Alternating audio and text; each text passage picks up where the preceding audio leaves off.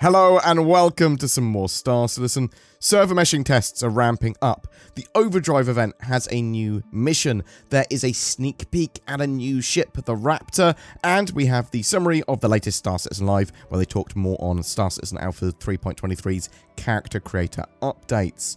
Let's take a look at the newsletter though and the stuff that's happening with the Overdrive event. Urgent assistance required. While last week's data heist was successful, Xenothreat is using a sophisticated encryption system that the CDF can't decipher, except the Overdrive Initiative Priority Targets mission in your contracts manager to help the cause. So yes, there's a new mission uh, chain set uh, with the uh, second set of missions priority targets from the CDF now. You basically, you're hunting down high-ranking Xenothreat members and recovering their digital keys. The whole Overdrive Initiative set of missions um, should be running all the way into May, and all previous and subsequent phases should also be available to complete until around then. We've got the data heist missions as well at the moment and players will be able to earn themselves three days rental of a F7A Mark II, so that military Hornet, and a free F7C Mark II to um, F7A upgrade by completing all the stages of the event. So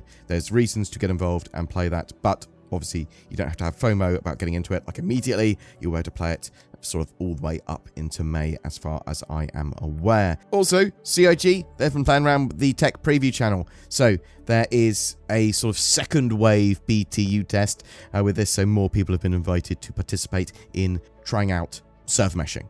So at the moment, um, CIG are now testing two servers linked together in the same star system. So Stanton, there's around 400 players connected. Bam, can server meshing, static server meshing work with that, sort of dividing parts of the Stanton system up. Previously, they had connected Stanton and Pyro together, but each of those um, star systems was a single server. But we do know that static server meshing works. Um, it's going to be interesting to see um, sort of how they now proceed, because those tests seem to have worked to a large level. Obviously, there's bugs and lots of other stuff going on.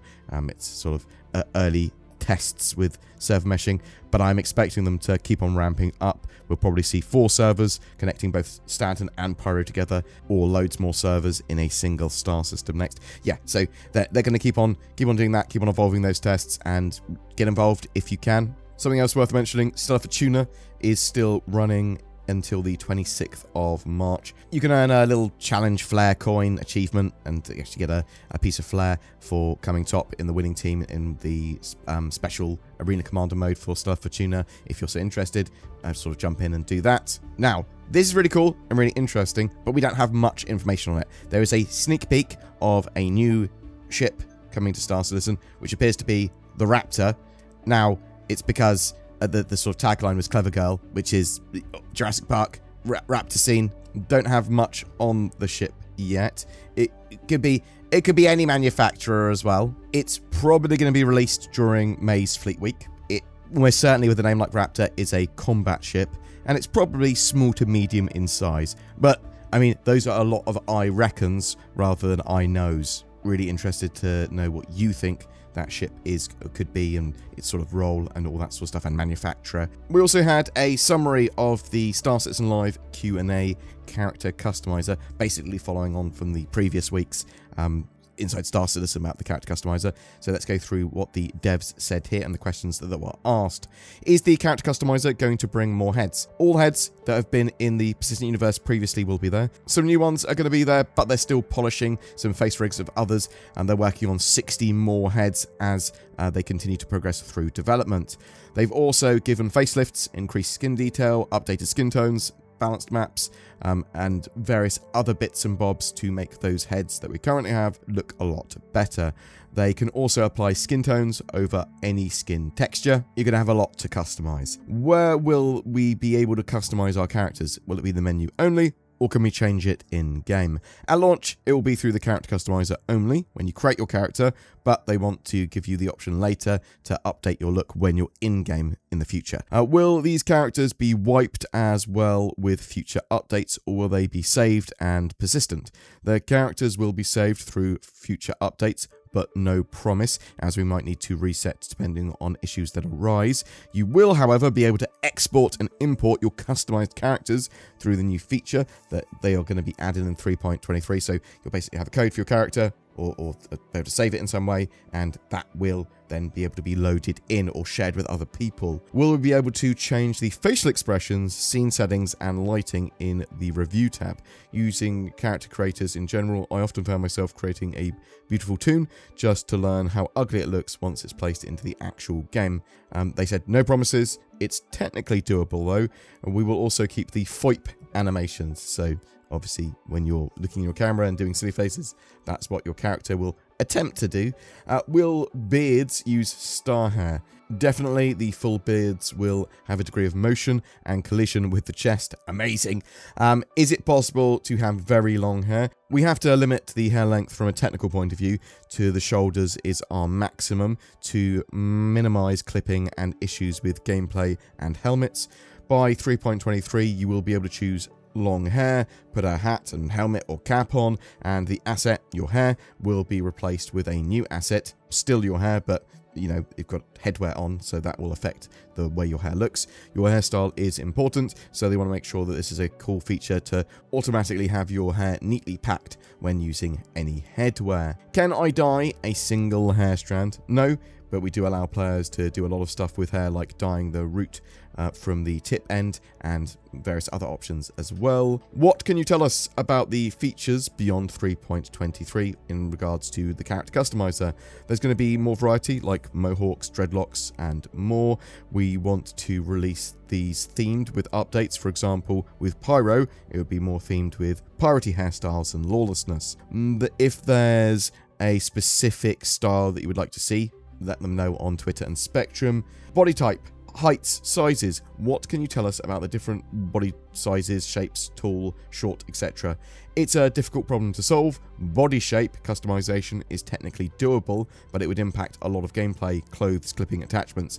It would affect all the animations in game, causing a lot of issues. I agree having everyone the same shape doesn't look right, but we'll investigate with what we can do. In the future, will the character customizer be able to scan an imported photo of our own face to generate it into the customizer? That would be helpful and quicker than creating our own face from scratch. Face sculpting would be awesome, though it's a lot of work to do. They're going to talk about it more internally. Will we be able to customize the color of our eyes? In 3.23, it will be pretty standard, but we want to offer more diverse eye colors. For now, it's realistic and it might be revisited later. I would personally really like to see eye color changes and some interesting sort of color blending options and stuff that would, would go pretty well. I suppose maybe we'll have contacts and stuff like that in game. But yeah, I am really interested to know what you think of that new character customizer and what they're talking about for 3.23. I'm loving it. I want to see it propagated out to NPCs. I want to see a huge amount of variety in the game. It really does help landing zones come to life and gives you more sort of a more interesting experience when you're fighting because you're, you're fighting against different people. What do you think that raptor is. Tell, tell me about what you think CIG could be doing with that, what you'd like to see. Are you participating in the Overdrive initiative? Have you bought yourself a um, F7C Mark II and are hoping to get an F7A upgrade? Are you participating in those server meshing tests as well? And what's the experience been like for you? Are you really, really excited to see server meshing potentially turn up in summer with 4.0? Whatever your thoughts or questions, though, I would love to hear from you in the comments below. Also, Tobii Eye Tracker is available with a discount. Links below to that as well.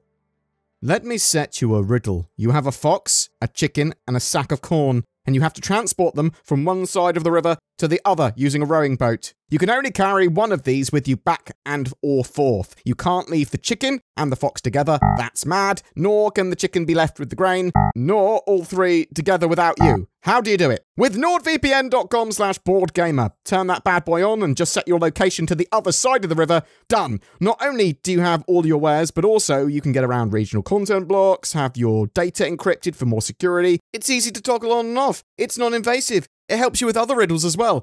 If a sphinx is asking you, what goes on four legs in the morning, two at noon, and three legs in the evening?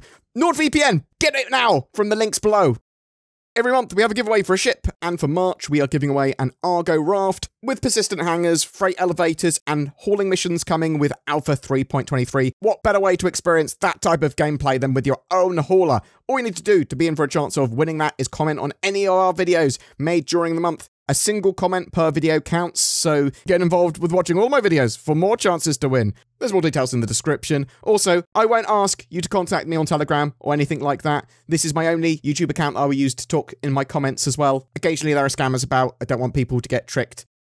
A massive thank you to everyone that supports the channel, be that liking videos, commenting on them, sharing them. There are also people that go the extra mile. These are amazing people that become Patreons or use the join button under my YouTube videos to become channel members. You'll occasionally get some exclusive content, Discord roles, and behind the scenes posts. It's those people with those memberships that allow us to make the daily Star Citizen content that we do. So please consider joining those awesome folks as well. Thank you for watching until the very end. It is genuinely appreciated, and I hope you have a great March.